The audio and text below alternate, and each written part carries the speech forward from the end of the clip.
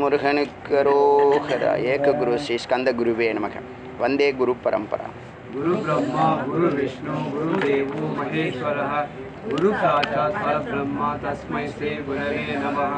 गुरवे सर्वलोकानां विशेषे भवरोगिणां निधे सर्वविद्यानां श्रीदक्षामूर्ते नमः। ॐ आप्यायन्तु ममाङ्गानि। वाक्प्राणश्चक्षुः। श्रोत्रं तो बलमिन्द्राणि च। सर्वाणि। सर्वं ब्रह्मोपनिषदं माहं ब्रह्मं निराकुर्याम्। मामा ब्रह्म निराकरो। निराकरणमस्तु अनिराकरणमे अस्तु तदात्मानि निरतेज उपनिषत्सु। धर्मास्ते मयि सन्तु। ते मयि सन्तु। ॐ शान्ति शान्ति, शान्तिः।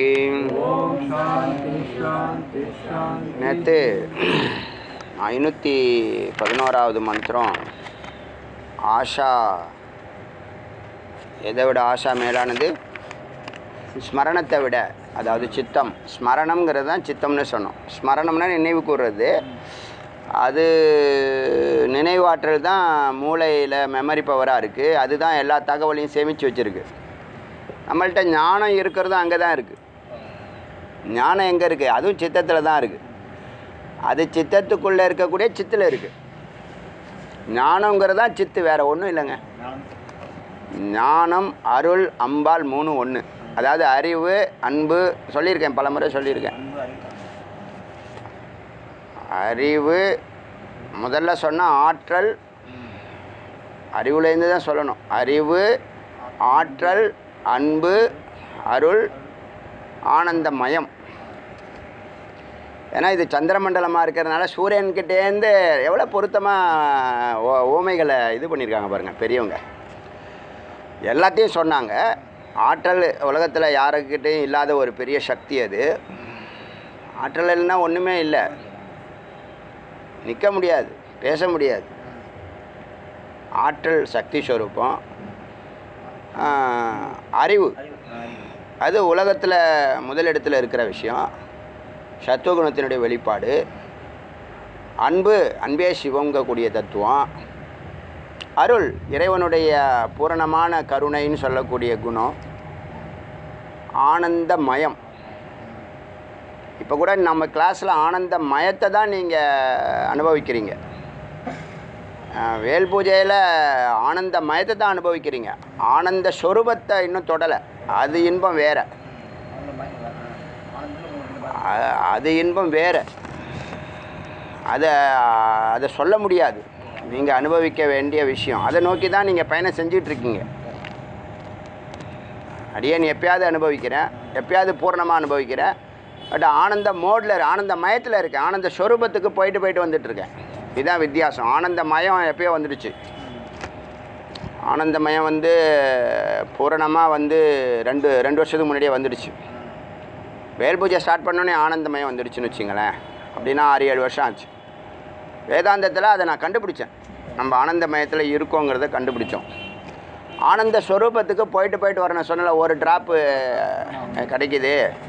அது வந்து ஃபுல் ஃப்ரெஷ்னஸ் கொடுக்குது. அதான் சத்தியம். இப்போ அந்த இடத்துல தான் உங்களுக்கு நேற்று நம்ம அதை பேசணும் நம்ம நீங்கள் சர்வசாதாரணமாக எடுத்துக்கிட்டீங்க. அதில் அவ்வளோ சூக்ஷ்மமான விஷயம் இருக்குது என்னன்னா அஞ்சாவது நிலையில் அமிர்தம். உருவ மத்தியில் நீங்கள் ஒரு நிலையை தொட்டிங்கன்னா அங்கே அமிர்தம் சுரக்குது அது சத்தியம். திருமந்திரர் பொய் பொய் சொல்ல மாட்டார். நம்ம அனுபவத்தில் பார்த்துட்டு இருக்கோம் அடியேன் அனுபவத்தில் சொல்லிகிட்டு இருக்கேன் ஏழாவது நிலையில் ஆனந்தம்னு சொல்லியாச்சு. ஏழாவது நிலையில் ஆனந்தம்னு சொல்லியாச்சு. ஒன்பதாவது நிலையில் சக்தி தலம் அன்பு அருள் இதெல்லாம் நம்ம வந்து வார்த்தைகளாக கேட்டுட்டு இருந்ததை வாழ்க்கையாக வாழ போகிறோம் இப்போ நீங்கள் ஸ்டார்ட் பண்ணிட்டீங்க. அந்த என்ட்ரிக்குள்ளே வந்தாச்சு. அந்த கேம்பஸ்க்குள்ளே வந்தாச்சு. கிட்டத்தட்ட முதல் சர்க்கிள் வந்தாச்சு. அவ்வளோதான் சொல்லுவேன். அதுக்கு மேலே அதில் பயணம் செய்யும்போது நாம் வந்து சிவதலம்னு சொல்லக்கூடிய தரிசனம். இந்த நாலு இது அவங்க சொல்கிறது நாலு இது சொல்கிறாங்க அது நம்ம சாதாரணமாக எடுத்துக்க முடியாது. இப்போ நாம் உங்களை வந்து சத்துவகுணத்துக்கு வா. ஏகாந்தத்துக்கு வா. அப்புறம் என்ன சொன்னேன் அப்புறம் என்ன சொன்னேன் சத்துவகுணத்துக்கு வா ஏகாந்தத்துக்கு வா தியானத்துக்கு வா. சத்துவகுணங்கிறது வெஜிடேரியனாக மாறுன்னு அர்த்தம்.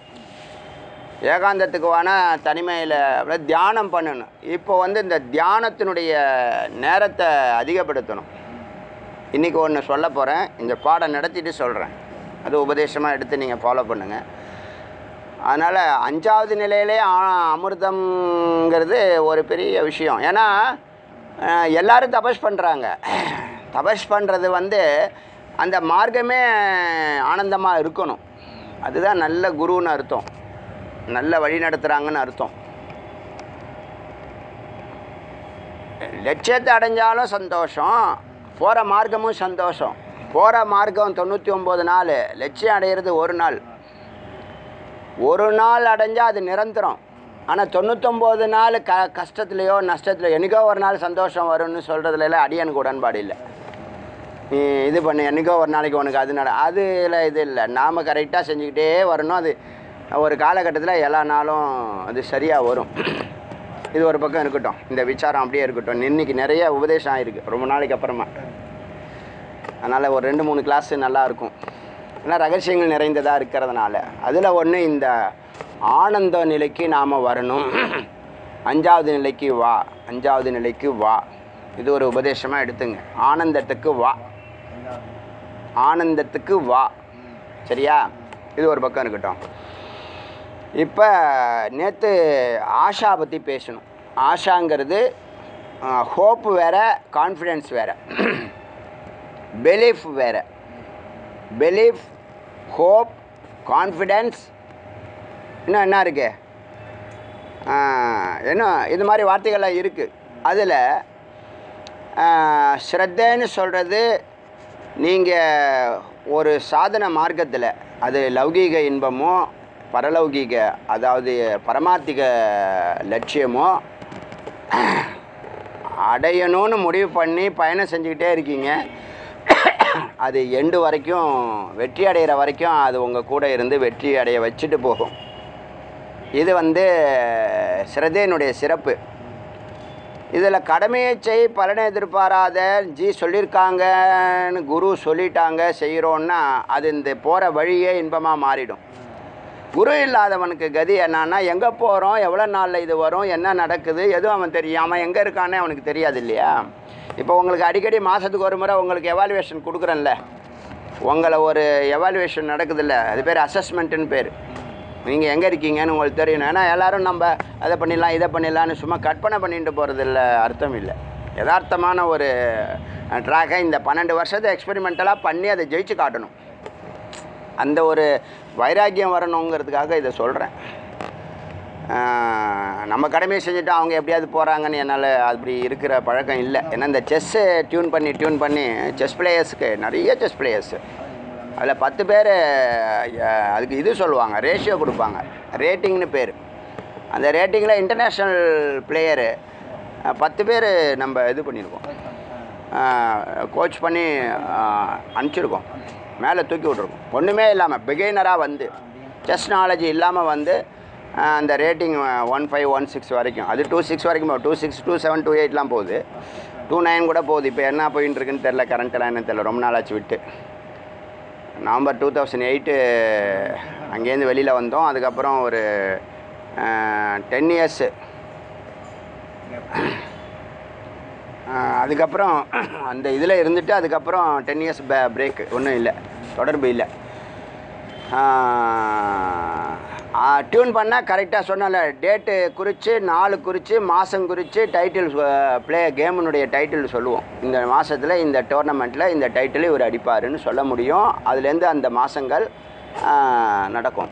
அப்படியே நடக்கும். நிறைய செஞ்சு காமிச்சிருக்கோம். இது நம்ப முடியாத விஷயந்தான் ஆனால் நடக்கும்போது தான் அந்த மனசு குளிர்ச்சி அடையும். அதுக்கப்புறம் நம்மளை பாராட்டுவாங்க. இந்த பேரண்ட்டுக்கு புரிய வைக்கிறது பெரிய சேலஞ்சுன்னு சொன்னேன்ல. அது நிறைய அனுபவிச்சிருக்கோம் அது. அது ஒரு பக்கம். இப்போது இப்போ இந்த ஆஷா ஆ, அந்த ஸ்ரத்தை தான் அதுக்கு காரணம். ஸ்ரத்தை தான் அந்த வெற்றியை நிர்ணயிக்குது. இப்போயே நம்ம ஆரம்பிக்கும் போதே வெற்றியை நிர்ணயிச்சிடலாம்.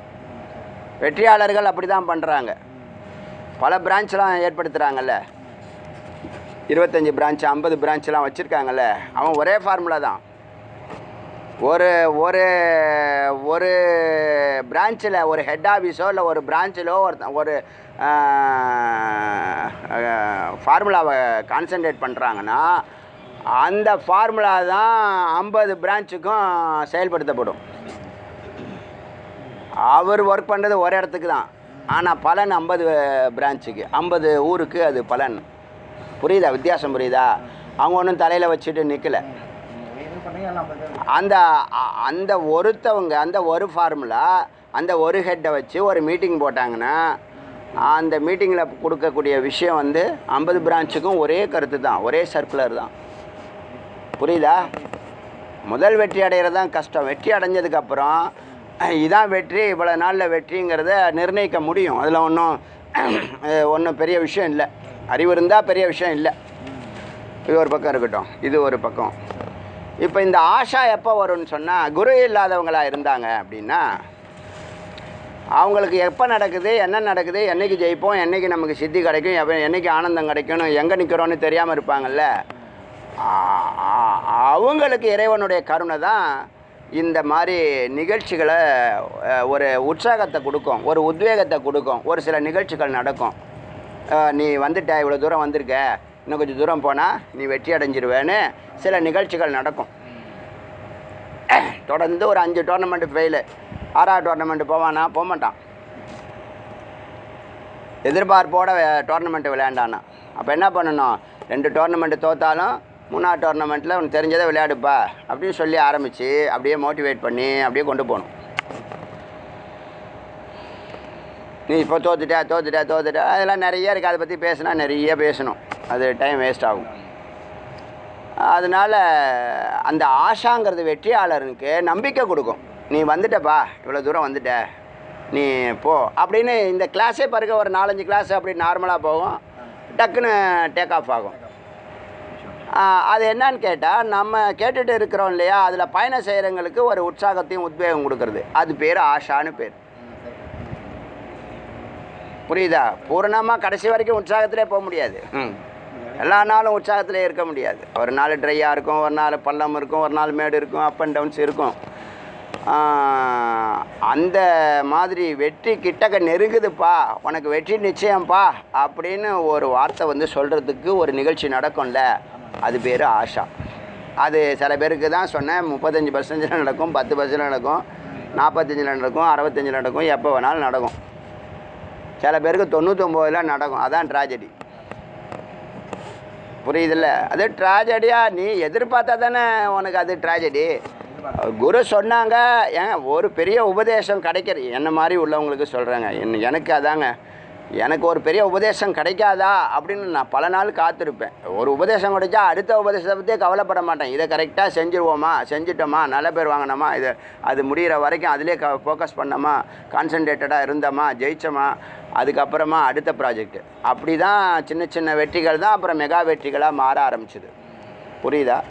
இப்போ இல்லைன்னா சொல்ல முடியுமா? சேலஞ்ச் பண்ண முடியுமா? ஒரு கோடி மரம் நடுறோம் ஒரு கோடி சிஷ்யர்கள் சப்ஸ்கிரைபரை உருவாக்குறோன்னு. நடக்குதா இல்லையா பாருங்கள் நடந்தே தீரும் நடந்து ஆகணும் வேறு வழி கிடையாது. நீங்கள் சிரத்தையும் பக்தியும் ஞானமும் உழைப்பும் இருக்கிறவன் ஜெயிச்சே தீரணும். அப்புறம் வேறு யார் ஜெயிக்கிறதுக்கு இருக்கா? சொல்லுங்கள் அதனால் இந்த ஆஷாவை வந்து நீ தியானம் பண்ணு அப்படின்னு சனத்குமாருங்கிற முருகப்பெருமான் நாரதருக்கு உபதேசம் பண்ணுறார் அப்போ அதில் என்னென்ன பார்த்தோம்? நம்பிக்கை வந்துட்டால் எல்லாம் வந்துடும்.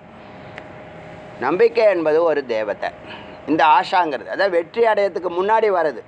முன்னாடி இருக்கிறது ஸ்ரத்தை அது பெரிய மகத்தது அது. பெரிய பிளஸ்ஸிங் இப்போ இந்த ரெண்டாவது ஆஷாவில் நேற்று சொன்னேன் இந்த ரெண்டாவது ஆஷா ஆஷாவை எங்களை மாதிரி உள்ளவங்க எதிர்பார்க்க மாட்டாங்க.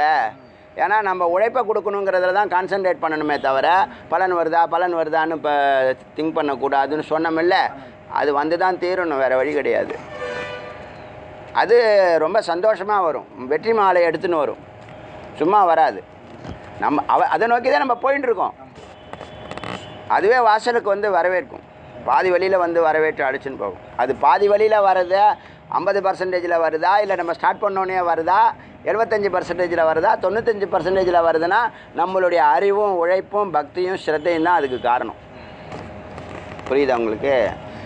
அப்போ ஆஷாவோட நீங்கள் பயணம் செய்யணும். அதுதான் நமது பயிற்சியும் முயற்சியும்.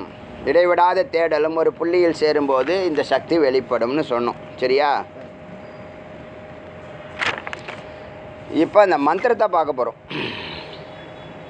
ஆஷாவாவ ஸ்மாத் பூயஸ்தி ஆஷேத்தோ வை ஸ்மரோ மந்த்ரான் அதீத்தே கர்மாணி குருத்தே புத்ராம்ஸ் ச பசும் ச இச்சேத் இமம் ச லோகம் அமும் ச ஆஷாம் உபாஸ்வேதி. ஆஷா ஆஷாவாவ நம்பிக்கையே நம்பிக்கையே. நம்பிக்கை ஸ்மராத் ஸ்மராத்னா நினைவை விட அதாவது சித்தத்தை விட நினைவு ரீகலெக்ட் பண்ணுறோம்ல அது என்ன சொல்லுது நினைவுபடுத்துறது. நினைவுபடுத்துறதை விட நம்பிக்கையே பூய மேலானது பூய அஸ்தி பூய மேலானதாக இருக்கிறது. ஆசாத். ஆஷா தான் உத்தோ தூண்டி விடுகிறது. எதை தூண்டி விடுகிறது? ஸ்மரத்தை நினைவை தூண்டி விடுகிறது. நினைவு வர்றதுனால தான் ஒரு ஒரு சிஷ்யன் தான் படித்த மந்திரங்களை போத ஆரம்பிக்கிறான். சொல்ல ஆரம்பிக்கிறான். அதீத்தே கர்மாணி குருத்தே. பூஜையெல்லாம் கரெக்டாக செய்கிறான் யாகம்லாம் கரெக்டாக செய்கிறான் வேலைகள்லாம் கரெக்டாக செய்கிறான் அப்புறம் ஆஷா இருக்கிறதுனால தான் அந்த நினைவு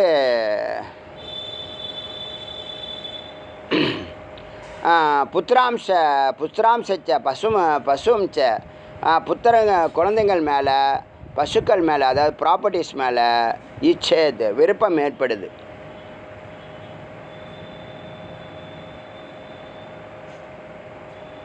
ஏற்படுது. என்னன்னோ தன்னுடைய குழந்தைங்க தன்னுடைய ப்ராப்பர்ட்டிஸுங்கிற இச்சா விருப்பம் இருக்குது அந்த பயணத்தில் அவனுக்கு விருப்பம் இருக்குது இமம் இந்த லோக்கம் உலகம் அமம் மறு உலகம். இந்த உலகத்தில் ஃபிலாசபி சொல்கிறாங்க ஞானிகள் சொல்கிறாங்க சான்றோர்கள் சொல்கிறாங்க குரு சொல்கிறாரு இது நடக்கிறதுக்கு வாய்ப்பு இருக்குது ஒரு அனுபவஸ்தர் ஒரு ஒரு பிஸ்னஸில் ஜெயிக்கிறவங்க ஜெயித்தவங்க சொல்கிறாங்கன்னு கேட்டு தானே ஆகும் அப்போ அவங்க எதை வச்சு சொல்கிறாங்க அவங்க ஜெயிச்சு காமிச்சிருக்காங்க. அதனால் அந்த ஆஷா உங்களுக்கு வருது. சொல்லுவீங்கல்ல நீங்கள் ஒருத்தர் உங்களுக்கு இன்விடேஷன் வைக்கிறாரு கடை ஒன்று திறக்கிறேன். இது மாதிரி இருக்குது இந்த மாதிரி சூழல் இருக்குது இதில் என்னென்ன டிஃபிகல்ட்டிஸ் இருக்குது என்னென்ன பாசிபிலிட்டி இருக்குது நெகட்டிவ் இருக்குதுன்னு கேட்பார் கண்டிப்பாக கேட்பார் திறக்க போகிறதுக்கு முன்னாடி கேட்கணும்.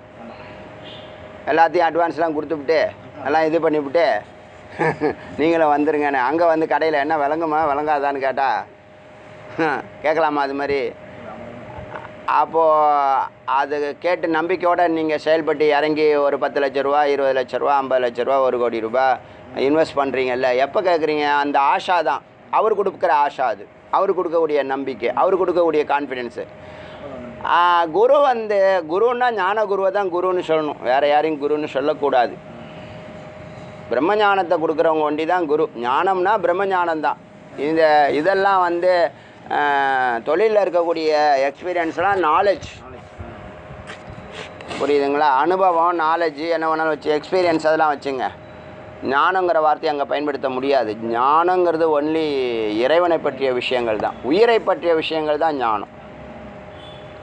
அங்கே குரு சொல்லும்போது மறு உலகம் ஒன்று இருக்குப்பா. போற்றி பார்க்குற போற்றி யமதர்ம கேட்குறான் ஏன்டா பாவி இந்த இந்த வாட்டியும் ஃபெயிலியரா இந்த வாட்டியும் பிறமா? இந்த ஜென்மாவிலையும் பிறவாமையை நீ வாங்கலையா?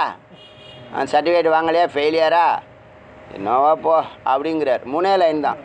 இந்த ஜென்மாவும் ஃபெயிலியர் பண்ணிட்டியா? தண்டகர்மாந்திரம் போய் தொலை அங்கே போ ஓரமாக நில்லு போ.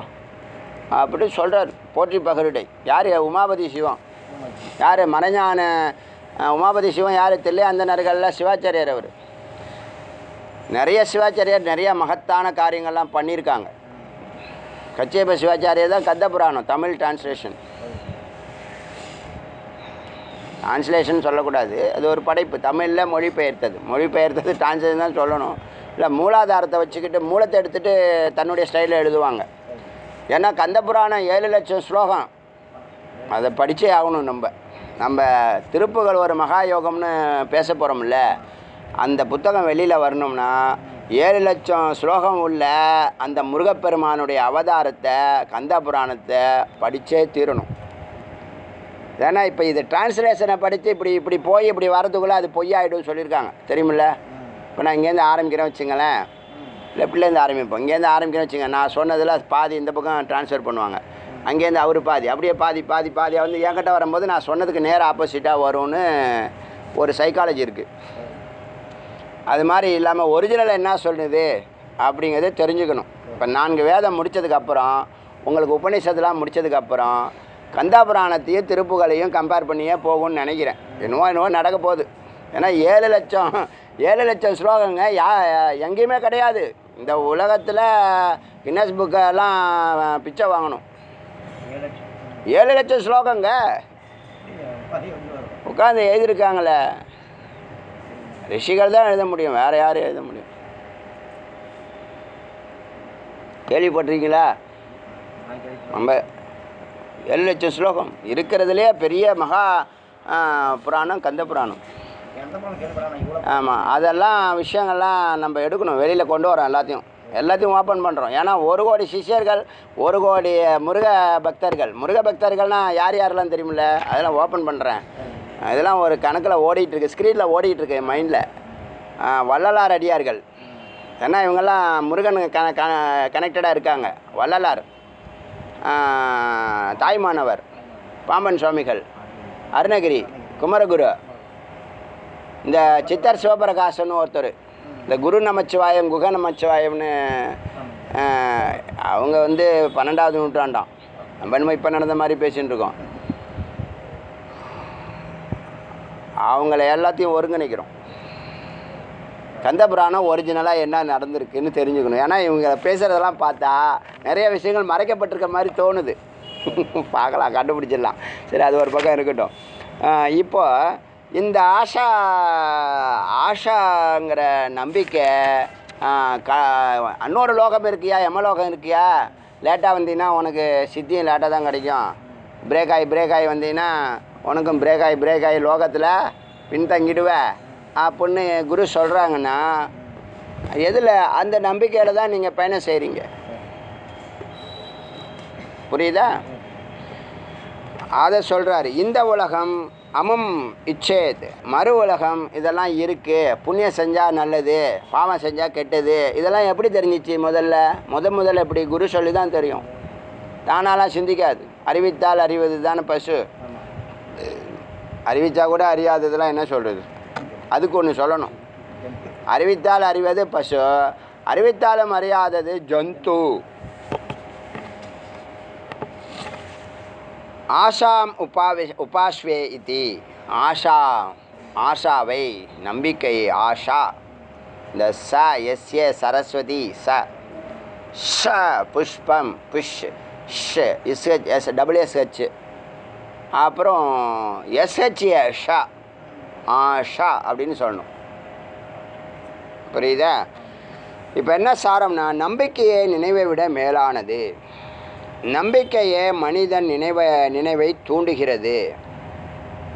வேலைகளை செய்விக்கிறது. மந்திரங்களை ஓதவும் தனது உற்றார் உறவினரை அறியவும் விருப்ப விரும்பவும் செய்கிறது. இந்த உலகம் மறு உலகம் கடவுள் அனைத்தும் நம்பிக்கையே. அப்படி தானே இப்போ இந்த பிரமாணம் இருந்துச்சே நமக்கு இப்போ குரு எப்படி பேசுகிறாங்க வேதத்தை ஆதாரமாக வச்சு பேசுகிறாங்க வேத மார்க்கத்தில் போயிட்டே இருக்கும்போது வைதிகத்தில் போயிட்டே இருக்கும்போது நம்ம ஞானிகளுடைய வரலாறு நம்ம லைஃப்பில் கிராஸ் பண்ணும். வைதிகமாக நீங்கள் போயிட்டு இருந்தீங்கன்னா சாஸ்திர சம்பிரதாயமெல்லாம் தெரிஞ்சுக்கணும்னு நினச்சி போயிட்டு இருந்தீங்கன்னா அப்போ தான் ஞானிகளுடைய தொடர்புலாம் வர ஆரம்பிக்கும். ஞானிகளுடைய தொடர்பு வந்தால் தான் இந்த சாஸ்திரத்தில் இருக்கிறதெல்லாம் சத்தியம் அப்படின்னு புரியும். இல்லைன்னா நான் அதை கேட்குறேன் நான் மேலே போய் பார்த்துக்கிறேன்னா மேலே போய் யமதர்மம் இதே வார்த்தையை சொல்லுவார். இங்கே குரு என்ன சொன்னாரோ அங்கேயும் ஏன் அங்கே ஒரு யமம் இருக்குன்னு இங்கே வந்தால் இங்கே ஒரு யமம் இருக்குது அப்படின்னு நினைக்க வேண்டியதுதான். புரியுதா? இதுதான் இங்கே இருக்கிற விஷயம். சரி இப்போ ச எம் ஆஷாம் பிரம்மேத்து உபாஷத் அதனால் ஆஷாவை பிரம்மமாக உபாசனை பண்ணு. ஆஷா ஆ- ஆஷா ஆஷா யாஷ்ய சர்வே காமக. நம்பிக்கையினால் எல்லா காமங்களும் எல்லா விருப்பங்களும் சமிருத்தியை செழிப்படையும் வெற்றியடையும் நிறைவேறும். மோகா அமோகாக தவறுவதில்லை. ஆஷா ஆசிஷோ பிரார்த்தனைகள் பவந்தி எல்லா பிரார்த்தனைகளும் நிறைவேறும் தவறுவதில்லை. யாவது ஆசையா கதம்? எந்த அளவுக்கு இந்த ஆசையை நம்பி தியானம் செய்கிறாயோ கதம் போகிறாயோ அதை எந்த அளவுக்கு போகிறாயோ இதே லைனு தமிழில் திருமந்திரத்தில் வந்திருக்கு. நீங்கள் அதை பார்க்க போகிறோம் அற்புதமான பாடல் அது. ஆஷாய கதம். எந்த அளவுக்கு நீ இந்த ஆஷாவை நம்பிக்கை அது பின்னாடியே போறியோ தியானத்தில் போறியோ போறியோ? தத்ராஷிய அவனுக்கு யதா காமச்சாரே பவதி. எல்லா காமங்களும் எல்லா விருப்பங்களும் பவத்தி பவதி கைகூடுகின்றன. ஆஷாம் பிரம்மேத்து உபாசி அஸ்தி. ஆஷாவை பிரம்மமாக உபாசனை பண்ணிட்டான். இப்போ நம்பிக்கை ரொம்ப முக்கியம் இல்லையா? கான்ஃபிடென்ஸ் ரொம்ப முக்கியம் இல்லையா? நம்மளும் என்ன சொல்கிறோம் தானாக வரணும்னு சொல்கிறோம் நம்ம தேடி போயிட்டே இருந்தோம்னா தானாக வரும். நம்ம முறையாக போயிட்டு இருந்தோம்னா தானாக வரும். புரியுதா? அப்படி போகும்போது நான் ஆஷாவை பிரம்மமாக தியானம் பண்ணதுனால இதை விட மேலானது ஏதாவது இருக்கான்னு தோணுது. பகவ ஆஷாயா பூய. ஆஷா ஆஷா ஆஷாவை விட நம்பிக்கையை விட பெரிதானது? இத்தி இருக்கிறதா? எஸ் ஆஷாயா வாவ பூஜோ அஸ்தி இருக்கிறது. தன் அதை மே எனக்கு பகவான் பிரவேத்தி சொல்லுங்கள் அப்படிங்கிறார். அப்புறம் இந்த ஐநூற்றி பதினாலு மந்திரம் அற்புதமான மந்திரம். இது நாள் வரைக்கும் நம்ம பார்த்துட்டு வந்ததுலேயே ரொம்ப ரொம்ப முக்கியமான மந்திரம் இது. இதை விட மேலானது இருக்கான்னு கேட்டார்ல? அதை சொல்லுங்கன்னார்ல?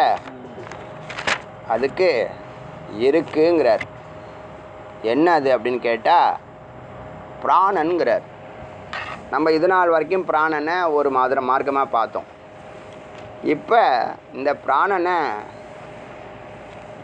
ஒரு ஆச்சரியமான சக்தியாக பார்க்க போகிறோம் இதுதான் இன்றைக்கி அடியானுக்கு உபதேசமான விஷயங்கள். நிறைய சூக்ஷ்மத்தை அள்ளி கொட்டியிருக்கார் சுவாமி. ஒரு பத்து நாள் கிளாஸுக்கு சமமான ஒரு கிளாஸாக இது புரிஞ்சிச்சுன்னா அவங்களுக்கு அது பயன்படும். அவ்வளவு சூக்ஷ்மங்களை இதில் கொட்டுறார். என்ன அப்படின்னா நம்ம முன்னாடியே இதை சிந்திச்சிருக்கோம். பிரம்மம் ப்ளஸ் மாயை. பிரம்மம் ப்ளஸ் மாயை என்னது? ஈஸ்வர். ஈஸ்வர் ஈஸ்வரி. இந்த ஆண்களுக்கெல்லாம் வேலை கிடையாது சைலண்ட்டாக இருக்காங்க. பெண்களுக்கு எல்லா வேலையும் இருக்குது வீட்டு வேலைகள் அந்த அந்த காலத்துலேருந்தே இது தொடருது. ஏன்னா செயலெல்லாம் பெண் ஏன்னா சக்தியாச்சே. செயலெல்லாம் சிருஷ்டியே பெண்ணு தான் படைப்பே பெண்ணு தான் நீங்கள் பார்க்குற எல்லாமே பெண்ணு தான் ம். ஜெகத் எல்லாம் பெண் காற்று பெண் அக்னி பெண் எல்லாமே பெண் நீங்கள் சொல்லிக்கலாம் அக்னி தேவன்னு. அது படைச்சது யார்? எல்லாம் பார்த்தீங்கன்னா வாட்டர் நிலம் நீர் நெருப்பு. அதான் நிலம் நீர் தீ வலி வெளி. வலி காற்று வெளி. ஆகாயம். எல்லாம் பெண். இப்போது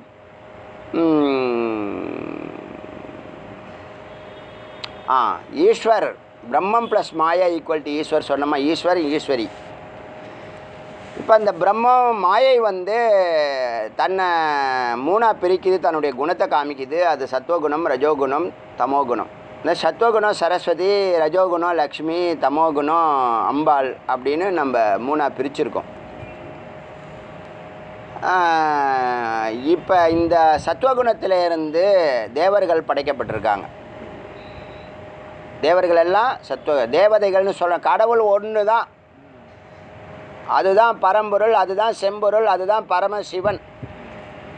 சகுனத்தில் சொன்னால் நிர்குணத்தில் சொன்னால் பரபிரம்மம். ம். சகுனத்தில் சொன்னால் பரமசிவன். சிவத்தை தவிர வேறு ஒன்றும் பாக்கி எல்லாம் தேவதைகள் தான் ஏன்னு கேட்டால் அவருக்கு ஆதியும் அந்தமும் இல்லைங்கிறத வேதம் சொல்லுது. அவருக்கு தாய் தந்தையர் இல்லைங்கிறத வேதம் சொல்லுது. அவரை தான் எல்லா தேவதைகளும் வழிபடுறதா வேதம் சொல்லுது. வேதமே பிரமாணம். இப்போ ஒரு பிரான்ச்சுக்கு ஒருத்தவங்களை ஹெட்டாக போட்டோம்னா அவங்க ரொம்ப பிரசித்தி பெற்றாங்கன்னு வச்சுங்களேன் அவங்க தான் அந்த கம்பெனி கிடையாது அதை புரிஞ்சுக்கங்க. அவங்க தான் அந்த கம்பெனிக்கு ஓனர் கிடையாது அதை புரிஞ்சுக்குங்க. இப்போ எல்லா ப்ராப்ளமும் அதான் நடக்குது இப்போ. அவங்க நினச்சிக்குவாங்க அந்த ஊர்க்காரங்க நினச்சிக்குவாங்க அவங்கள ஃபாலோ பண்ணுறது நினச்சிக்குவாங்க. இப்போ இத்தனை ஞானிகள் வராங்களே ஞானிகள் இறைவனுடைய ரெப்ரசன்டேட்டிவ் இந்த குரு ஞானிகள் யோகிகள் சித்தர்கள் ரிஷிகள்லாம் எல்லாம் சொல்கிறோமே அவங்கெல்லாம் நேரடியான ரெப்ரசன்டேட்டிவ் நேரடியான அவதார புருஷர்கள். இந்த ஆறு பேரும் அதில் ஒன்றும் சந்தேகப்பட வேண்டாம். ஆனால் அவங்க எல்லாரும் இயக்கக்கூடிய ஒன்று இருக்குல்ல அந்த ஒன்று மேலான ஒன்று பிரம்மம் சுப்ரம் சுப்ரம்மம். அந்த ஒன்று மட்டும்தான் கடவுள். பாக்கி எல்லாம் தேவதைகள் அட்மின் தான். எல்லாம் பதவி தான் நல்லா புரிஞ்சுக்கணும். நீங்கள் எங்கே இருக்கீங்க? அப்படிலாம் இனிமேலாம் விளக்குறதுக்கு எனக்கே உடன்பாடு இல்லை. அடிக்கடி இதை சொல்லிகிட்டு இருக்கிறதுல எனக்கு உடன்பாடு இல்லை. எனக்கு பிடிக்கலை. நிறைய விஷயங்கள் எனக்கு பிடிக்கல. ஆனால் சுவாமி சொன்னார் நம்ம செஞ்சு தான் ஆகணும். அதுக்கு தான் நம்ம இருக்கோம். இங்கே சொந்த விருப்பு விருப்பு இருக்கக்கூடாதுன்னு நம்ம வெறும் வார்த்தையில் சொல்லலை. வாழ்ந்துக்கிட்டு இருக்கோம். அதனால் இதை திரும்ப திரும்ப எனக்கு சொல்கிறதுக்கு ஒன்று தான் கடவுள். ஒரே பாயிண்ட்டு நம்ம மட்டும் சொல்ல எல்லா மதமும் சொல்லுது. நீங்கள் மெகாவாக இருக்கக்கூடிய எல்லா மதமும் இறைவன் ஒன்று தான் சொல்லுது. இங்கே தான் இவ்வளவு குளறுபடி. ஏன்னா அறிவு தான் வித்தியாசம் காரணம். அதாவது கண்டு முட்டு கேட்டு முட்டுன்னு தமிழில் ஒரு பழமொழி இருக்குது ஏற்கனவே அவன் எதை கேட்டானோ அதையே தான் நம்புவான். புரியுதா? எதை பார்த்தானோ அதையே நம்புவான். அதை வச்சுக்கிட்டு தான் மற்றதெல்லாம் ஜட்ஜ் பண்ணுவான். புரியுதா? சொல்கிறது அதை விட மேலானது உயர்வானது இது வரைக்கும் அவன் பார்க்கல. சில பேர் சொல்லுவாங்களே என் லைஃப்பில் இது வரைக்கும் நான் இது மாதிரி பார்த்ததே இல்லை பாரு. இவர் எல்லாத்தையும் பார்த்த மாதிரியும் இவர் எல்லா அறிவும் இவருக்கு இருக்கிற மாதிரியும். புரியுதா இல்லையா? இது வரைக்கும் என் லைஃப்பில் இது மாதிரி நடந்ததே இல்லை. எனக்கு வந்து ஜுரமே வந்ததில்லை. அப்படின்பாரு இந்த பிரச்சனையே வந்ததில்லைம்பாரு என்ன இவர் நடக்கிற மாதிரியே நடக்கணும் எல்லாம். இது வரைக்கும் என் லைஃப்பில் இப்படிலாம் நடந்தது இல்லைண்ணே லைஃப்னா என்னன்னு தெரியுமா உனக்கு ஃபஸ்ட்டு எது உனக்கு தெரியும் சொல்லு. உனக்கு தெரிஞ்ச விஷயமெல்லாம் அஞ்சு புலன்கள் வேலை செய்கிறது க்ளீனாக தெரியும். அது ஆடு மாடும் செய்யுதுன்னு சொல்லியாச்சு. அதுக்கு மேலான விஷயங்கள்லாம் தெரியுமான்னா எல்லாம் அந்த கண்டு முட்டு கேட்டு முட்டு அதான். அதிலே முட்டிட்டு கிடக்கிறது. இது வரைக்கும் நான் கேட்காத ஒன்று அப்போ எல்லாம் கேட்டியா நீனு? எல்லாத்தையும் கேட்டுட்டியா? எல்லா குருவையும் எல்லா குரு சொன்னதையும் கேட்டுட்டியா? இல்லை ஒரு குரு எல்லாத்தையும் சொல்லிட்டாரா? எல்லாம் சொன்ன அவர் சொன்னதை எல்லாம் நீ கேட்டுட்டியா? செஞ்சு பார்த்துட்டியா? தியானம் பண்ணிட்டியா? ஒரு பாயிண்ட்டை நீ தியானம் பண்ணுறதுக்கு ஒரு ஜென்மா தான் பத்துங்கிறாரு. விழிப்பு நிலை வந்தவங்க. இது மாதிரி லேட்டாக பிக்கப் லேட்டாக வராங்க என்ன கதி? ஒன்றும் பண்ண முடியாது. இப்போ ஏதாவது அவங்க கருணை சுவாமி மண்டாடி பிடிச்சி ஏதாவது சுவாமிகிட்ட ரெக்கமெண்டேஷன் லெட்டர் வாங்கிட்டு தான் வரணும். என்ன பண்ணுறது வேறு வழி கிடையாது. இப்போ எத்தனையோ பேர் எங்கேயோ சுற்றின்னு இருக்கானே. அதுக்கு இவர் மேலானவர். அப்பர் சுவாமி மாதிரி எந்த செகண்ட் வேணாலும் வாழ்க்கை மலரலாம் மாறலாம். நோக்கம் நல்லா இருக்கணும். அதான் பாயிண்ட்டு இது வரைக்கும் எனக்கு அது மாதிரி நடந்ததே இல்லைன்னா ஏன் அது மாதிரி நடக்கக்கூடாதுன்னு சட்டமாக ஏதாவது ஏதாவது எழுதி போ கொடுத்துருக்காங்களா உனக்கு? இது மாதிரிலாம் உனக்கு எதுவும் நடக்காதுன்னு. அவதார புருஷர்களுக்கு எழுதி கொடுப்பாங்க அவங்களுக்கு தெரியும். சாமானியனுக்கு சம்சாரி என்ன? சம்சாரி கேவல அவஸ்தையிலையும் சகல அவஸ்தையிலையும் என் நைட்டில் தூங்குவான் பகலில் வேலை செய்வான். அதான் அது. இதான் சம்சாரி. அவனுக்கு ரெண்டே அவஸ்தை தான். அவனுக்கு சுத்த அவஸ்தா பர அவஸ்தா அதெல்லாம் அவருக்கு கிடையாது. தெரியுமில்ல? அதெல்லாம் ஒன்று இருக்கா? இருக்கா அவனுக்கெல்லாம்? நைட்டு வந்தால் தூங்குவான் பகலில் வந்தால் வேலைக்கு போவான்.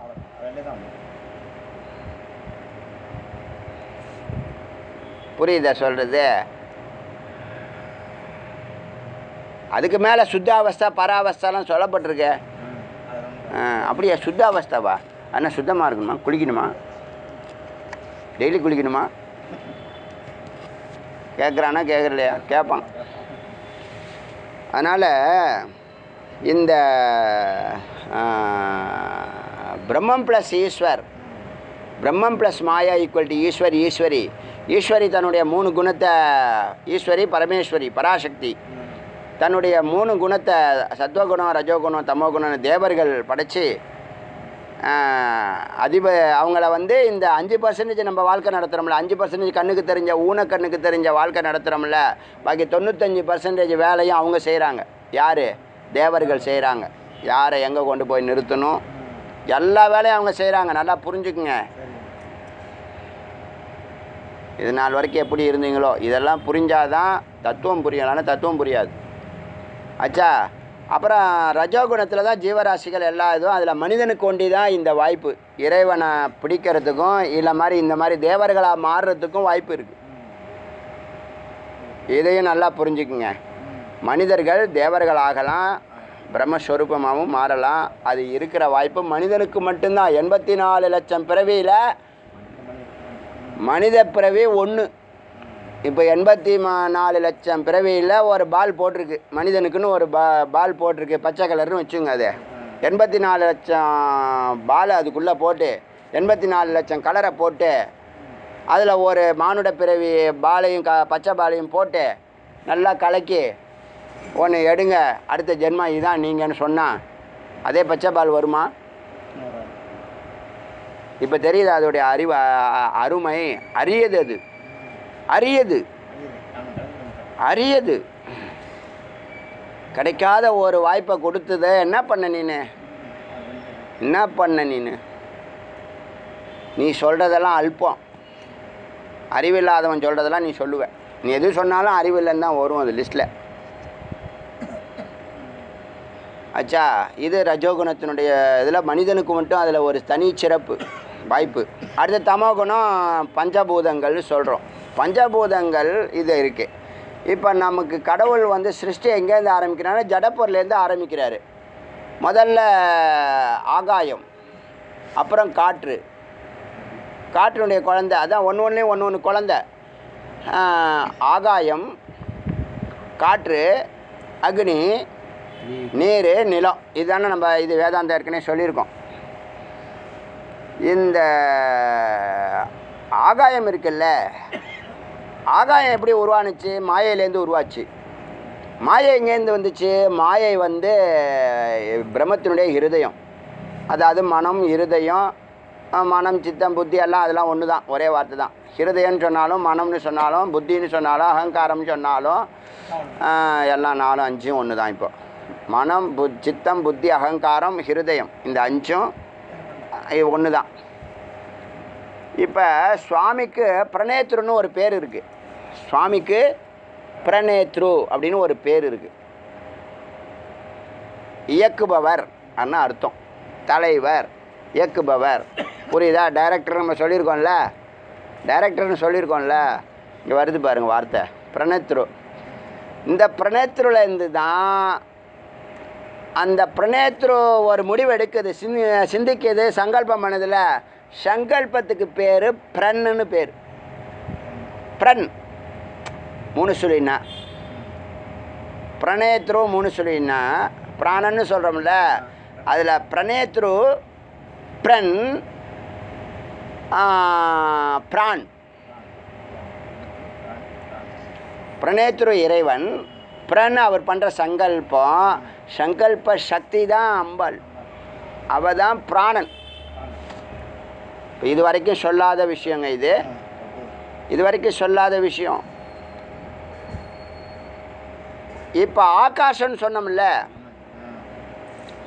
ஆகாசம் சரீரம் பிரம்மம்னு சொன்னோம்ல. ஆகாசம் சரீரம் பிரம்மம்னு சொன்னால் சிவத்துக்கும் உடம்பாக இருக்கிறது அம்பாள். சிவத்துக்கும் உடம்பாக இருக்கிறது அம்பாள். சிவம் சகுனமாக உருவம் எடுக்குதுன்னா அது வந்து அம்பாள். புரியுதா? பிரணேத்ரு பிரண்ணு சங்கல்ப சக்தி அப்புறம் பிராணு. இந்த ஆகாசம் எப்படி இறைவன் வந்து முதல்ல வெளிப்படும் போது மறைஞ்சிருந்தார்? அப்புறம் வெளிப்பட்டார். மறைஞ்சிருந்த ஒன்று இருந்ததுன்னு சொன்னோம். ஒன்று தான் இருந்ததுங்கிற எல்லாரும் ஒத்துக்கிறாங்க. அப்புறம் இடையில உயிர் இருந்துச்சு க இயற்கை இருந்துச்சுன்னா அதெல்லாம் எங்கே இருந்துச்சுன்னு நம்ம கேட்டால் அந்த கேள்விக்கு பதில் இல்லை. அப்போ நான் அத்வைத்துக்கு போகல நான். அந்த ட்ராக்கு போனால் அது ட்ராக் வேறு மாதிரி போகும். அது வேண்டாம். ஒன்று இருந்தது அது சங்கல்பம் செய்தது அதுதான் பிரண்ணு அந்த பிரண்ணு தான் சங்கல்ப சக்தி தான் எப்படி மறைஞ்சிருந்தது வெளிப்பட்டதோ மறைபொருளாக இருக்கிறது தான் இந்த ஆகாயம். மறைச்சிக்கிட்டு இருக்குல்ல? ஆகாயம் தெரியுது அது? நீங்கள் பார்க்குறது ஆகாயமா? நீங்கள் பார்க்குறது வெட்ட வெளி. நீங்கள் பார்க்குறது வெட்ட வெளி நீங்கள் பார்க்குறது ஆகாயம் இல்லை. புளுவாக தெரியுறது எல்லாம் கற்பனை ப்ளூ கலர் அதோடைய ஒரிஜினல் கலர் இல்லை. கடல் நீர் எப்படி ப்ளூ கலராக தெரியுதுன்னு நம்ம சொல்கிறோம்ல அதெல்லாம் வந்து இமேஜினேஷன்ஸ் அல்ட்ரா வயலட்டோ ஏதோ ஒன்று சொல்லுவாங்க அதுக்கு. அது சயின்டிஃபிக் சயின்ஸ் படி போனால் அதுக்கு காரணம் இருக்குது அதனால் அது இல்லைன்னு அர்த்தம் தான் அது. இருக்குது ஆனால் இல்லை. ப்ளூவாக தெரியுது. இப்போ கடல் நீர் புழுவாக தெரியுது பச்சையாக கூட தெரியுது கருப்பாக கூட தெரியுது. என்ன முருகா? நம்ம கே முருகன் பாருங்கள் தியானம் பண்ணி சொல்கிறான் பாரு. எப்படி உட்காந்துருக்காரு பார்த்தீங்களா? ஸ்ட்ரைட்டாக உட்காந்துருக்காரு பாருங்க ஒயிட் அண்ட் ஒயிட்டில் கோர்ட்டில் வேலை செய்கிறார் புரியுதா?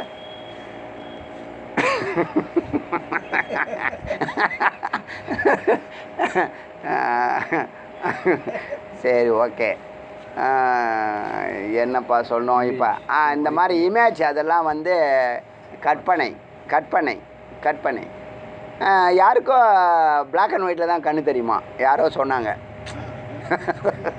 அதாவது கலர் சிலர் பேருக்கு தெரியாதுன்னு சொல்லுவாங்க. அது இல்லைப்பா சில பேருக்கு அது ஒரு டிசீஸ் இது. ஆ கலர் பிளைண்டு சார் சொல்லிட்டார் பாருங்க. சார் மெடிக்கல் ஷாப்பில் எல்லாம் நிறைய ஃபார்மசிஸ்ட் நம்மகிட்ட இருக்காங்க. புரியுதா? என்ன கலர் பிளைண்டா சார் அது? அவங்களுக்கு வந்து எந்த கலரும் தெரியாது. அது மாதிரி கலர் உள்ள பிளைண்டு நம்மலாம். புரியுதா? அதுக்கு என்ன சார் சொல்கிறது கலர்ஃபுல் ம். ம். கலர்ஃபுல் யார்? ம். அவங்க தான் கலர்ஃபுல் எல்லா கலர்லேயும் கேட்பாங்கல்ல அவன் புடவை எடுக்கிறவன் அவன் செத்தான் அவன். சும்மா இருக்கிறவனுக்கு தோண்டி விட்றாங்க பாருங்க. நான் இப்போ சிவனேன்னு நான் சரி விடுங்க. இப்போ இந்த ஆகாயம் இருக்குல்ல ஆகாயம் பிரம்மத்தினுடைய சரீரம்னு ஏற்கனவே சொல்லியாச்சு.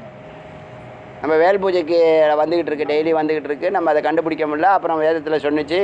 அப்போ சுவாமி வரார் சிதம்பரம் டெய்லி இங்கே வந்து போகுது. நடராஜர் எப்படி சேரமான் பூஜை பண்ணும்போது நடராஜர் அங்கே போனாரோ அது மாதிரி இங்கே வரார் வேல் பூஜைக்கு. ஒரு பக்கம் இருக்கட்டும். இப்போ சரீரம் எங்கே மறைஞ்சிருந்துச்சு? சிவம் எங்கே மறைஞ்சிருந்ததுன்னா இந்த சரீரத்துக்குள்ளே தானே மறைஞ்சிருந்தது. புரியுதா?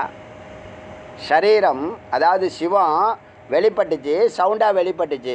நீங்கள் சவுண்டு பார்க்குற இடம் தான் ஆகாயம். ஆகாயத்தை உடம்புன்னு சொன்னிச்சு. இந்த ஆகாயமே பிராணன்னு முதல்ல நம்ம சொல்ல முடியும். ஏ அது நான் இது பே நான் இப்போ பேசுகிறது எல்லாம் விவேகானந்தர் ஆராய்ச்சி பண்ணி எழுதி வச்சிருக்க விஷயம். ஆமாம் கொட்டேஷன்ஸ்லாம் இருக்குது புக்கெலாம் இருக்குது என்னமோ எனக்கு இன்றைக்கி அது கண்ணில் பட்டுச்சு. அவர் ஆராய்ச்சி பண்ணுறாரு பிராணனை. பிராணன் யார் இதுக்கு இவ்வளோ வல்லமைனா ஆகாயம்தான் பிராணன். பிராணன் தான் கா காற்று. காற்று தான் நெருப்பு. நெருப்பு தான் நீர். அதெல்லாம் ஏற்கனவே பார்த்துருக்கோம். எல்லாமே நீர் ஹச்சிட்டுவோ நெருப்பு வந்து ஹைட்ரஜன் அண்ட் ஹீலியம் காற்று காற்று. ஆகாயம் தானே இவ்வளோ நாளாக தெரியாமல் அது பேர் பிராணன்னு பேர்.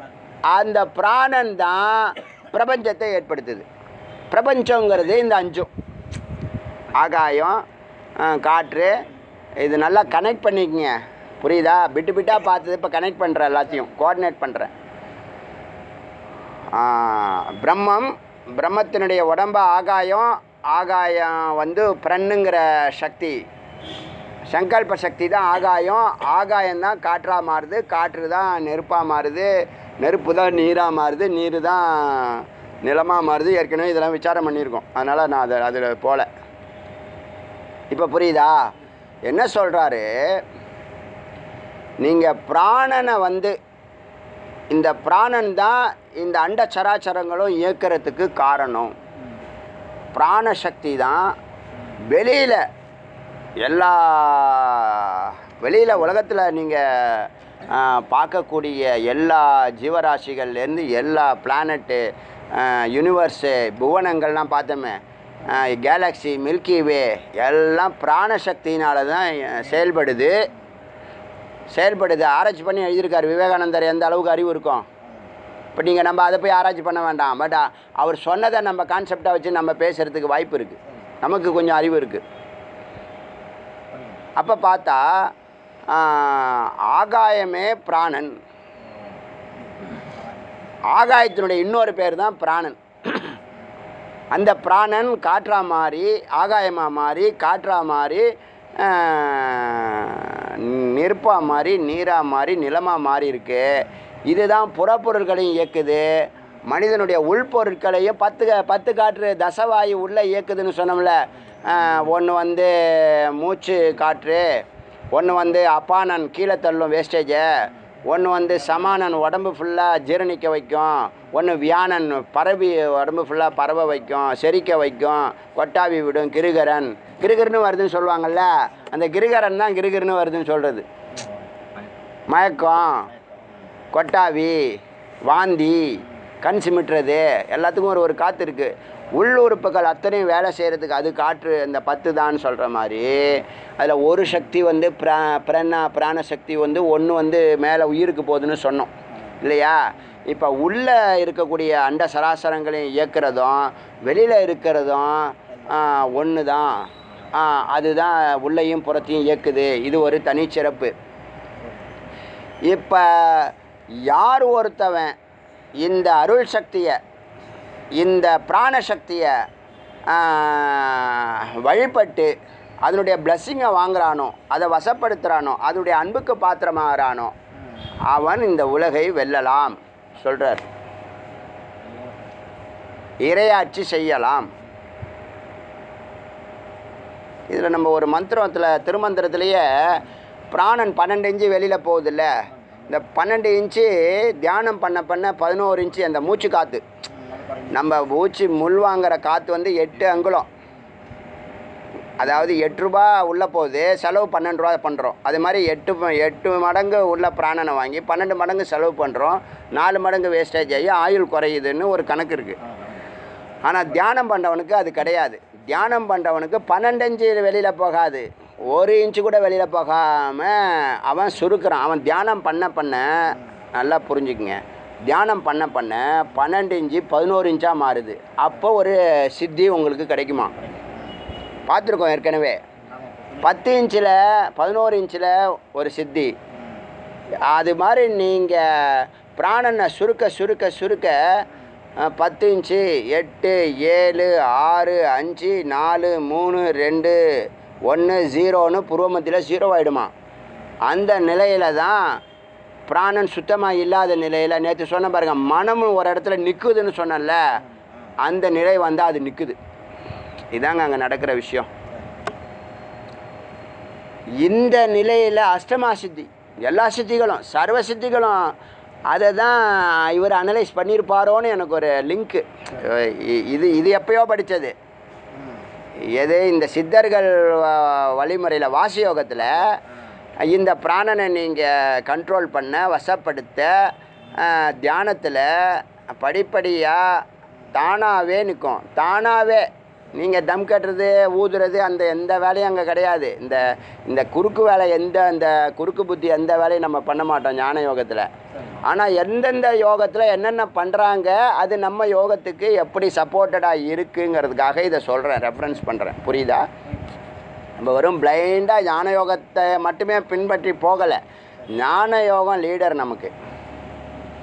செவன்ட்டி ஃபைவ் பர்சன்டேஜ் ஞான யோகம். பாக்கி எல்லாம் இது பஞ்சீகரணம் மாதிரி. பாக்கி இஞ்ச பாக்கி இருபத்தஞ்சி பர்சன்டேஜ் எல்லாத்துலேருந்தும் சீக்ரெட்ஸ் எல்லாத்தையும் எடுக்கிறோம். ஏன்னா ஒன்று இல்லாமல் ஒன்று கனெக்டடாக தான் இருக்குது ஒன்று இல்லாமல் ஒன்று நீங்கள் சொல்ல முடியாது. நேற்று யாரோ நந்தினி கூட கேட்டுச்சு. நீங்கள் வேதாந்தம் தானே கிளாஸு நம்ம பிரதானமாக போகிறோம் ஏன் சித்தாந்தம் இடையில சொல்லித்தரீங்க அப்படின்னு கேட்குது கேட்டுச்சு. அதில் நிறையா கொஞ்சம் சகல அவஸ்தை அந்த அவஸ்தை இந்த அவஸ்தை அது கேட்டுச்சு. அதுக்கு சொன்னோம். திருமந்திரம் ஃபுல்லாக சைவ சித்தாந்தம் தான். இப்போ திருமந்திரம் வேணுமா வேணாமா? திருமந்திரம் சொல்லணும். இன்னொன்று வேரியேஷன்ஸ் போகிறாங்க சைவ சித்தாந்தம். ஆகமம் வந்து டீட்டெயில் போகுது. ஆகமம் டீட்டெயில் உபனிஷத்து ஷார்ட் என்னது? ஷார்ட் அண்ட் க்யூட்டு உபனிஷத்து மகாமந்திரம் மகா வாக்கியம் ஒரு வார்த்தை ஒரு வார்த்தையே ஒரு மொழியாக மாறிடுது அது.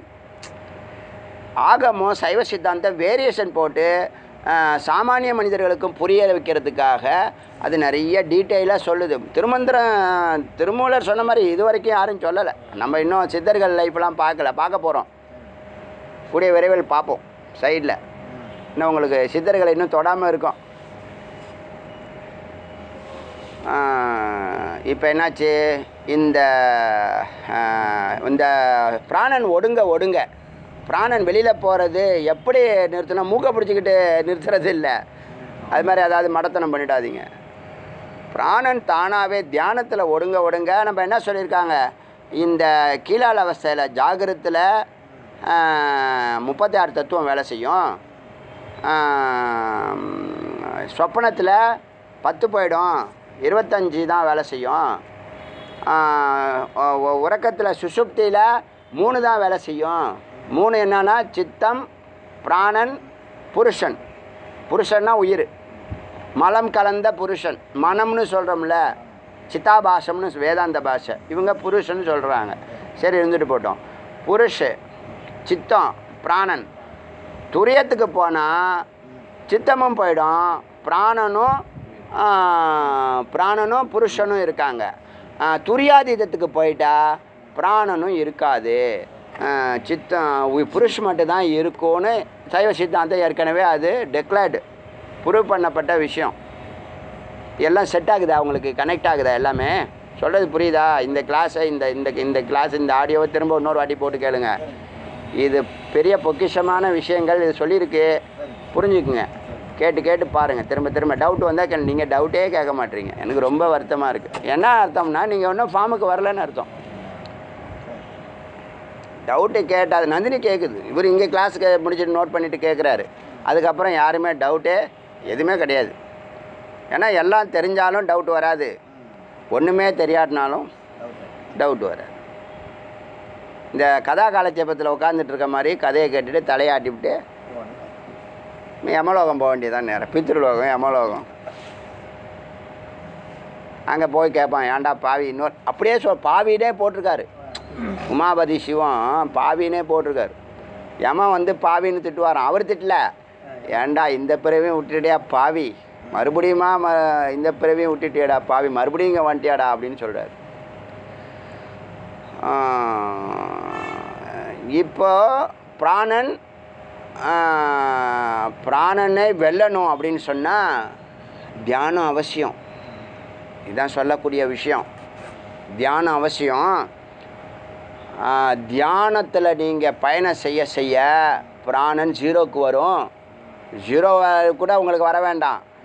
நீங்கள் சாமானிய நிலையில் நீங்கள் இருந்தாலே பிராணன் ஒடுங்க ஒடுங்க உங்களுடைய ஆயுள் கூடும்.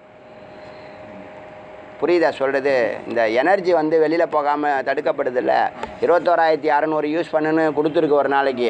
இவன் நாற்பத்தி ரெண்டாயிரம் யூஸ் பண்ணுறான் ஏன்னா நைட் டியூட்டி பார்க்குறேங்கிறான் அந்த டியூட்டி பார்க்குறேன் இந்த டியூட்டி பார்க்குறேன் அப்படிங்கிறான சொல்கிறானா இல்லையா?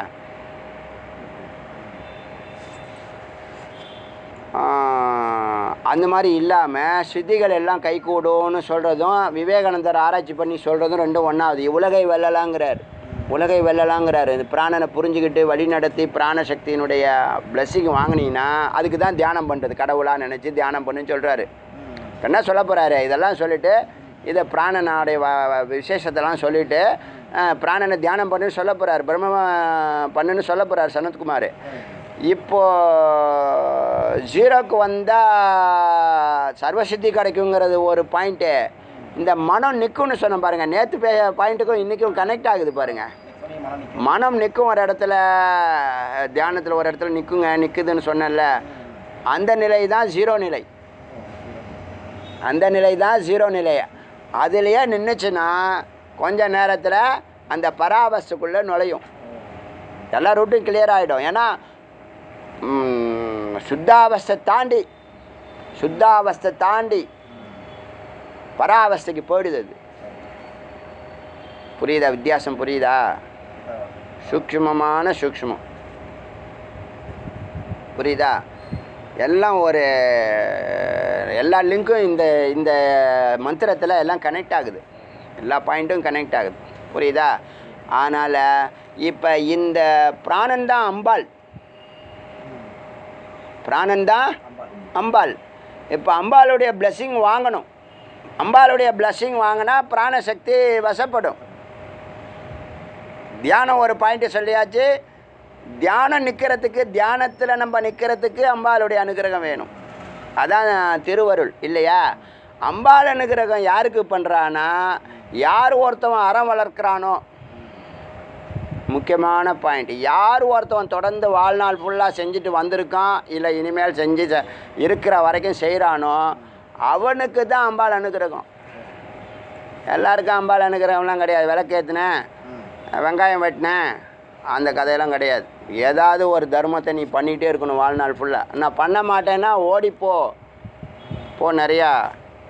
லோகம்லாம் இருக்குது பிறவிகள்லாம் இருக்குது போயிட்டு வான்னு அனுப்பிச்சி விட்றா இப்போ அவ அவ அன்புக்கு பாத்திரம் ஆகணும்னா அறம் வளர்க்கணும். வினை அறுக்கணும். அறம் வளர்த்தாதான் வினை அறுக்கப்படும் வினை அறுத்தாதான் யான் எனதுங்கிற அகங்காரம் ஆணவம் கர்ம மாயங்கிற மலம் நீக்கப்படும். ஆணவம் கர்ம மாயை மலம் நீக்கப்பட்டாதான் நீங்கள் யாருன்னு உங்களுக்கு தெரியும். குரு யாருன்னு உங்களுக்கு தெரியும். இறைவன் யாருன்னு உங்களுக்கு தெரியும். இந்த இப்போ சுத்தாவசை சொல்கிறோம்ல புருவமத்திக்குள்ளே நீ நுழைய முடியும். புருவமத்திக்குள்ளே நுழையணும்னா அறம் வளர்க்கணும் அறம் வளர்க்கணும் அறம் வளர்க்கணும். அது இல்லாமல் எனக்கு மோட்சம் வேணும். நான் பத்து கோயிலுக்கு போனேன் இருபது கோயிலுக்கு போனேன். சித்ரா பௌர்ணமி அன்னைக்கு போய் சுற்றினா எனக்கு எல்லாமே கிடச்சிரும். நான் பெரிய சாக்கெலாம் எடுத்துன்னு போயிட்டு அள்ளிட்டு வந்தேன். அதெல்லாம் நடக்காது. அறம் வளர்க்கணும் அறம் வளர்க்கணும் அறம் வளர்க்கணும். எந்த ஜீவராசியாக இருந்தாலும் அறம் வளர்த்தா தான் உனக்கு மோட்சம். இல்லையா நீ அடிமை தான் மறுபடியும் பிறவி உண்டு உண்டு உண்டு. புரியுதா? செல்ஃபிஷ்னஸ்லாம் விட்டு நெருப்பு வைங்க அதுக்கெல்லாம். கொஞ்சம் கொஞ்சம் உதவி செய்யுங்க. உங்கள் சார்ந்திருக்கவங்க முதல்ல குடும்பத்தாருக்கு உதவி செய்யுங்க. உற்றார் உறவினருக்கு உதவி செய்யுங்க. இருக்கிற வரைக்கும். உங்களால் முடிஞ்சது. உங்ககிட்ட இருக்கிற அறிவோ சின்ன சின்ன உபதேசங்களோ என்ன சின்ன சின்ன உதவிகளோ செய்யலாம். முடியும். அது இல்லாமல் மோட்சத்துக்கு தயவு செய்து ஆசையே படாதீங்க. அசிங்கமாக போய் நிற்காதீங்க ரெக்கமெண்டேஷன்லாம் கேட்காதீங்க. மோட்சத்துக்கு ரெக்கமெண்டேஷன் கொடுங்க. என்னை கொஞ்சம் ஓரமாக நான் அன்னைக்கு நாங்கள் வேதா கிளாஸ் நடக்கும்போது ஓரமாக நின்று வேடிக்கை பார்த்தேன். அப்படிலாம் கிடக்காது. நீ இறங்கி வேலை பார்த்தியான்னு கேட்பா. அவர் சொன்னார்ல உனக்கு அதெல்லாம் செஞ்சியான்னு கேட்பா. புரியுதா? அந்த பாயிண்ட்லாம் இதுக்குள்ளே மறைஞ்சிருக்கு. புரியுதா? இவ்வளோ விஷயம் அந்த மந்திரத்தில் இருக்குது இதில் என்னங்கிறத நம்பிக்கை வந் இந்த பிராணனை பற்றி சொல்லணும்னா உடலின் ஸ்தூல சூக்ஷ்ம உடலின் அனைத்து இயக்கங்களுக்கும் காரணமாக இருப்பது பிராணனே. பிராணனை பிரபஞ்ச சக்தியாக விவேகானந்தர் ஆராய்கிறார். ஆராய்ச்சி பண்ணுறார் அவங்க புத்தி எந்த நிலையில் இருக்கும்? யோசனை பண்ணி பாருங்கள் இந்தியாவுக்கே ஒரு ரெப்ரசன்டேட்டிவாக போனவர் அவர். அதே மாதிரி ஜெயித்தவர் ஒன் ஹவர் பேச்சிலேயே எத்தனையும் அறுபதனாயிரம் பேர் சிஷ்யர்களாக மாறினாங்க. யூஸ் யூஸில் ஆமாம் அப்புறம் தர்ம ச தர்ம தர்ம சர்வ தர்ம சம்மேளனில் நம்ம ஹிந்து மதம் முதலிடத்துக்கு அனௌன்ஸ் பண்ணாங்க. இதெல்லாம் எவ்வளோ பெரிய விஷயம்? அறிவு இல்லாமல் நடக்குமா? பிரம்மச்சரியம் வேறு. பூரண பிரம்மச்சரியம். அறிவு எப்படி இருக்கும்? அவங்க அறிவெல்லாம் அனலைஸ் பண்ணியிருக்க மாட்டான். இவனுக்கு தெரிஞ்சதெல்லாம் இந்த சயின்டிஸ்ட் அறிவு ஒண்டி தான் அனலைஸ் பண்ணுவான். புரியுதா? சயின்டிஸ்ட் ஒண்டி தான் அறிவாள் சயின்ஸெல்லாம் ஆன்மீகத்தை பொறுத்த வரைக்கும் த்ரீ டு ஃபைவ் பர்சன்டேஜ் தான். எது இவங்க ஆன்மீ ஆன்மீக மெய்ப்பொருள் மெய்ஞானிகள் கண்டுபிடிச்சதை விஞ்ஞானிகள் கண்டுபிடிக்கிறாங்க. மெய்ஞானிகள் கண்டுபிடிச்சி ஃபார்முலா வச்சுருந்தானா அதை எடுத்து பார்த்து ஆமாங்கிறான். அதுக்கு உடனே அவன் பின்னாடி எல்லாம் போகிறோம் இல்லையா? மெய்ஞானி கண்டுபிடிச்சவன் ஒருத்தனும் இல்லை. விஞ்ஞானிகள் நிறைய பேர் இருக்கான். புவியீர்ப்பு புவியீர்ப்பு சக்தி காந்த சக்தி நாடி ஓட்டங்கள் எண்ணெய் சக்தி எண்ணெய் ஓட்டங்கள் இருப்பது அனைத்தும் பிராணனே. இந்த சக்தினாலே அம்பாள் தான் அதில் ஒன்றும் மாற்று கருத்து இல்லை. பிராணசக்தியே எல்லையற்ற ஆற்றலின் கதவை திறந்து விடுகிறது.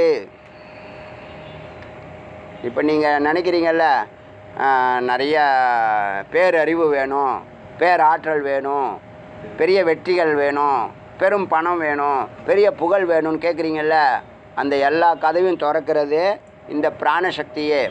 தியானமே பிராணசக்தியை வசப்படுத்துறது தியானத்தினால.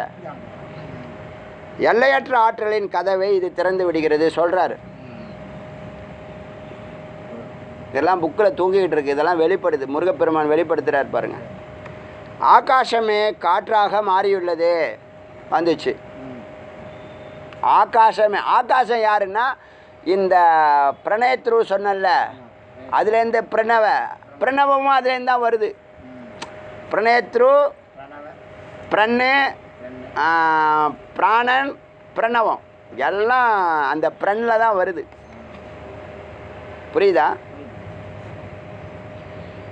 ஆகாசமே காற்றாக மாறியுள்ளது. வியாசரும் சங்கரரும் பிராணசக்தியே இறைவனாக கொண்டு தத்துவங்களை விளக்க முற்படுகின்றனர்.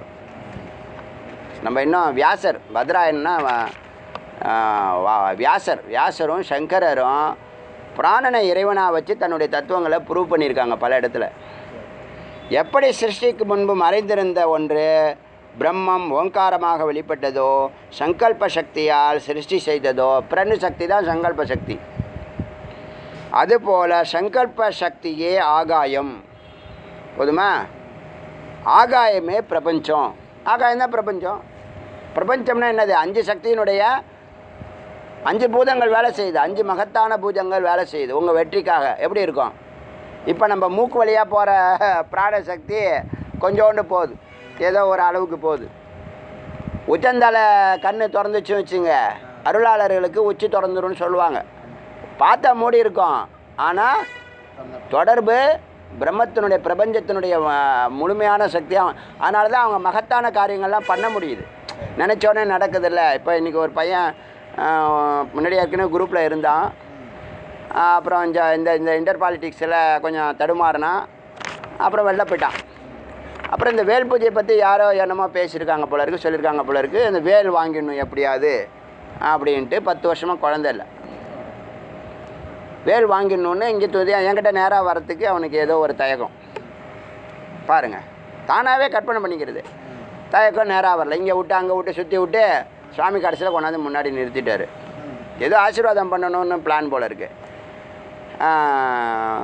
வந்து ஒரு பதினஞ்சு நாளைக்கு முன்னாடி அங்கே சுற்றி இங்கே சுற்றி வேல் கிடைக்கல சுற்றி விற்று கடைசியில் ரூமுக்கு வந்துட்டான். இது கேட்டான் இடையில நான் பார்க்காம யோசனை பண்ணாமல் சரி வந்து கேட்குறான் கொடுப்போன்னு விபூதியை போட்டு ஒரு நமஸ்காரம் சுவாமிக்கு பண்ணுப்பான்னு பண்ணிவிட்டு விபூதியை விட்டுட்டு அந்த இந்த அக்ஷதை அந்த இந்த பூ இருக்கும்ல நம்ம அர்ச்சனை பூக்கள் அதை எடுத்து ஆசீர்வாதம் பண்ணிவிட்டு நல்லா இருன்னு சொல்லி வேல் வாங்கி வேலை கொடுத்துட்டேன். வேலுடைய அந்த ஹிஸ்ட்ரியை சொன்னேன். ப்ரீஃபாக சொல்லிவிட்டு போயிட்டான். பதினஞ்சு நாள் கழித்து இன்றைக்கி வந்து சொல்கிறான் பத்து வருஷமாக குழந்த இல்லை ஜி. வேல் வந்ததுக்கப்புறம் கன்சீவ் ஆகிட்டாங்க நல்ல செய்தி. இதான் நம்ம விரும்புகிறோம் அடியார்கள் ஒன்று தேடி வந்தால் அவன் எது கேட்டாலும் நீ கொடுக்கணும். என்கிட்ட ஏதாவது சக்தி கொடுத்தீங்கன்னா உடனே கொடுத்துருவேன். அதே நீ செய்யணும். யாருக்கு நம்ம விபூதி இடுறோமோ அவனுக்கு வந்து நோய் இருக்கக்கூடாது தரித்திரம் இருக்கக்கூடாது பகை இருக்கக்கூடாது. பக்தி கொடு முக்தி கொடு சித்தி கொடு. ஆறு வேலை அந்த வேல் செய்யுது நான் பிரத்யட்சமாக பார்த்து அனுபவிச்சிட்டேன். அதனால அடியன் வந்து இனிமேல் யாராவது ஒன்று தேடி அன்றைக்கி ஒரு பொண்ணு வந்து இது பண்ண வேல் வாங்கிட்டு ஏந்துக்காமல் அப்படியே உட்காந்து மண்டாடுனுச்சு பாருங்கள் அதுலேருந்து இந்த பிரார்த்தனை அடியன்னு சுவாமிகிட்ட பண்ணிகிட்டே இருக்கேன். இது பண்ணி ஒரு அந்த பொண்ணு வந்துட்டு போய் ஒரு வாரம் இருக்குமா? சரண்யான அந்த பொண்ணு. இவன் வந்து அதுக்கு முன்னாடி வாங்கிட்டு போனவன் இது. இவன் வந்து இன்றைக்கி சொல்கிறான் சொல்லிட்டு ஆயரரூபா பணமும் கொடுத்துட்டு போகிறான் ம். பாருங்க. என்ன மிராக்கள்? சுவாமி கேட்குறாரு எல்லாத்தையும் காது கொடுத்து கேட்குறாரு எத்தனையோ சிறப்பு. அதான் முருகனை தேடி வந்தால் அவனுக்கு டேர்னிங் பாயிண்ட்டு வரணும். அதான் நம்மளுடைய சங்கல்பம். அது நடந்துடுச்சு. நமக்கு அதுக்கு சம்பந்தம் இல்லை. சம்பந்தம் இல்லாத சம்பந்தத்தை உருவாக்குறான் முருகப்பெருமான். அவனாச்சு முருகனாச்சு ரெண்டு பேருக்கும் உள்ள ஒரு உறவு. ஏதோ ஒரு நிகழ்ச்சி நடக்குது. ஏதோ ஒரு ட்ராமா பண்ணுறாரு ஏதோ ஒரு வேலை ஃபார்மாலிட்டி ஒரு ட்ராமா கொடுக்குறாரு. அதுக்கப்புறம் அதை நான் தான் பண்ணினேங்கிற மாதிரி அவரே முன்னாடி நின்று பேரும் வாங்கிடுவார். தெரியுமில்ல? எது செஞ்சாலும் நான் தான் பண்ணம்பார் அவர். தெரியுமில்ல? நீங்கள் ஏமாற்ற முடியாது அவரை. புரியுதுல்ல? எல்லாம் பண்ணிவிட்டு நான் தான் பண்ணம்பார் நம்மளெல்லாம் சொல்லக்கூடாதுன்னு பாரு. அவர் மட்டும் சொல்லிக்குவார். புரியுதா? இப்போ என்னன்னா சங்கல்ப சக்தி ஆகாயம் ஆகாயமே பிரபஞ்சம். சக்தியே சித்து. சித்தே பிராணன். பிராணனே பிரபஞ்சம். போதுமா? புரியுதா? சித்து தான் பிராணன். சித்து தான் பிராணன் சித்து தான் பிராணன். இப்போ சித்தை வசப்படுத்தணும் அறம் வளர்க்கணும். அதுதான் என்னுடைய இது. நீங்கள் என்ன சே எ- என் உங்களுக்கு என்ன பலன் வேணும் மட்டும் சொல்லலை. ஸ்ட்ராட்டஜி மட்டும் சொல்லலை. அதை எப்படி செய்யணுங்கிறது ப பதிலும் சொல்கிறார் சுவாமி. நீங்கள் அம்பாள் பிராணசக்தியை வசப்படுத்தணும்னு உங்களுக்கு ஒரு எண்ணம் வந்தால் அம்பாள் பிளஸ்ஸிங் வாங்கணும். நீ வாழ்க்கையில் லௌகீகத்தில் வெற்றி அடைகிறதுனாலும் அம்பாள் பிளஸ்ஸிங் வாங்கணும். நீ அங்கே மோட்சம் அடைகிறதுக்கு சிவ தரிசனம் ஆகணுன்னாலும் அம்பாள் தரிசனம் அம்பாள் பிளெஸ்ஸிங் வேணும். எங்கேயுமே நீ அங்கே நீ இப்படி போகிறேன் அப்படி போகிறேன் பைபாஸில் போகிறேன்லாம் ஒங்கும் போக முடியாது. ஏற்கனவே பல பேர் போய் பார்த்துலாம் திருப்பி அனுப்பிச்சி விட்டாரு. தெரியுமில்ல? தெரியுமில்ல? இருக்குது நிறைய வரலாறுலாம் இருக்குது அதனால் சங்கல்ப சக்தி சித்தா மாறி சித்து பிராணனா மாறி பிராண ஆகாசமாக மாறி ஆகாசம் பிரபஞ்சமாக மாறி இருக்கு. இவ்வளோ ஆற்றல் இருந்தால் எப்படி? இப்போ ஒரு மூக்கில் சின்னதாக போய் பிராணாயாமம் பண்ணி ஜெபம் பண்ணி தபம் பண்ணும்போதே இவ்வளோ வல்லமை வருது. பிரபஞ்ச சக்தி நேரடியாக உள்ளே இறங்குனதுன்னா எப்படி இருக்கும்? அது தியானத்தில் அது நடக்குது. தியானத்தில் பிரபஞ்ச சக்தி வசீகரிக்கப்படுது. புரியுதா அவங்களுக்கு அதனால தான் அவங்க வல்லமை பெறுறாங்க. கிளாரிட்டி இருக்குது அறிவில் கிளாரிட்டி இருக்கும். நேரடி தொடர்பு. உச்சந்தலை வழியாக அப்படியே இறங்குறது. நிறைய ஃபோட்டோஸ் போட்டிருக்காங்க. நிறைய யூடியூப்லெல்லாம் நிறைய இருக்கும். இப்போ யூடியூப் பார்த்துலாம் ரொம்ப நாள் ஆச்சு. ஆனால் இருக்குது அது மாதிரி ஃபோட்டோஸ்லாம் இருக்குது இவங்க கூட அனுப்பிச்சிடும் அடிக்கடி அனுப்போம் இப்போ கொஞ்ச நாள்.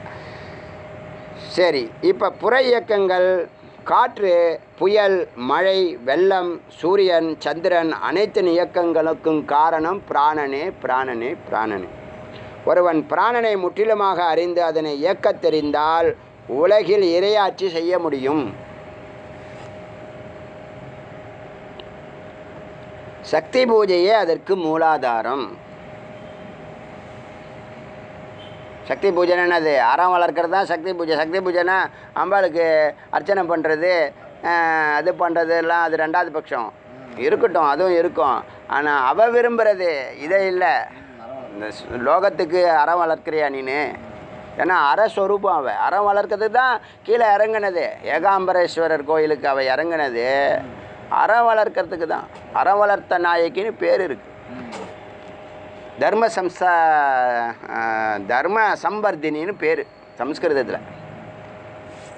தர்ம சம்பர்தினி. ம். வளர்க்கிறாள் நன்றாக வளர்க்கிறாள். எதை? தர்மத்தை நன்றாக வளர்க்கிறாள். போதுமா? அவர் ஞானம்னா இவ தர்மம். ஒன்று இல்லைன்னா ஒன்று இல்லை. பிரணேத் பிரணேத்ரு பிரணவ பிரணு பிராணு ஆகாஷம் எப்படி மாறி இருக்குங்கிறத எடுத்து எழுதினேன். டிக்ஷனரிலேருந்து எடுத்து எழுதினேன். வேர்டெல்லாம் தேடினேன். ஏன்னா இந்த பிரண்ணு பிராண நான் ரெண்டு வாட்டி சொல்லி பார்த்தா பிரண்ணுங்கிற வார்த்தை வந்துருச்சு. பிரண்ணுக்கு சங்கல்ப சக்தின்னு எனக்கு தெரியும். முன்னாடியே தெரியும். இப்போ பிராணனுக்குள்ளே இவ்வளோ விஷயம் இருக்குதுன்னு சொன்னால் அது தியானத்தில் அதை ஒடுக்குனா அது வசப்படுன்னு சொன்னால் உலகை வெல்லலாங்கிற வல்லமை கொடுக்கணும். விவேகானந்தர் சொல்கிறாரு அடியன்னு சொல்லலை. விவேகானந்தர் சொல்கிறாரு இருக்குது சரி நாளைக்கு மந்திரத்தை நாளைக்கு பார்க்கலாம்.